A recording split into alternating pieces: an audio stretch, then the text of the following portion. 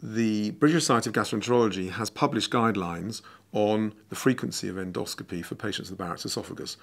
There's a little bit of nuance in this, but essentially, if you have long segment Barrett's esophagus, that means more than three centimetres of the bottom of the esophagus uh, has changed from being the pink squamous lining to the red Barrett's lining, then you should have an endoscopy probably once every two to three years.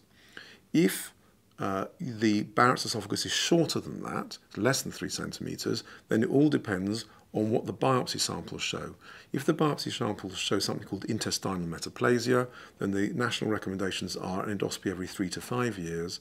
And if there is no intestinal metaplasia, then in fact one shouldn't have an endoscopy at all. And the reason for that is that if there is no intestinal metaplasia in a short segment of Barrett's esophagus, the, at the risk of getting esophageal cancer is actually about one in every 1,400 years of follow-up. So rare, it's not even worth thinking about. However, if one has intestinal that risk rises to about one in every 400 years of follow-up, and if the one has long segment Barrett's esophagus, the risks are slightly higher. Still low, still less than one in 100 years of follow-up, but high enough to make it worth doing surveillance endoscopies.